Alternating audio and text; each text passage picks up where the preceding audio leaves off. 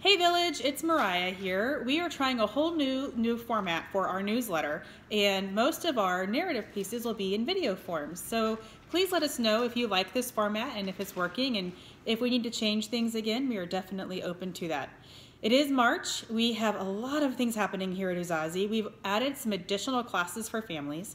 We have our Breastfeeding 101 class happening on the second Saturday every month. We also have Newborn 101 being added here in March. And that's a basic newborn class, newborn care, what's normal for newborn behavior. And that class will be the third Saturday of the month at 9 a.m. So our Saturday classes going forward are childbirth education at 9 a.m., first Saturday of the month.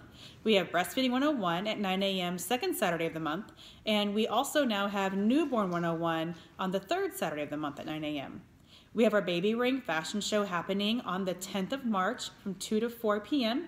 Please let your friends and clients know to come. They get to try on all kinds of different carriers and everyone will leave with one as well. We still have our clothing closet happening on the first and third Wednesday from 12.30 to 4.30. Dr. Julian, the chiropractor, is still here on the first and third Wednesday as well during closet time. His hours are from 12.30 to 3. We also will be adding new programming and additional things as we continue to expand our clinic in the back. We are very excited about this and construction has begun and it should be opened in late May or June. We'll have to see based on when they finish with their build out.